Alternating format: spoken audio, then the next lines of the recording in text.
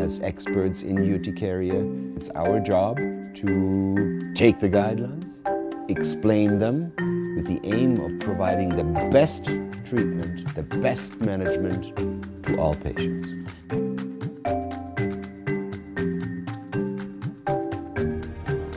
The recommendation of the guideline says uh, not to mix the antihistamines.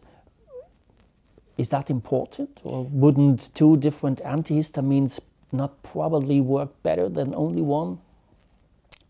The guidelines recommend to use one antihistamine and to use more of the same antihistamine if the standard dose doesn't work. What means updosing? The guideline recommendation is up to four times the standard dose. That means four tablets per day, two in the mornings, two at night.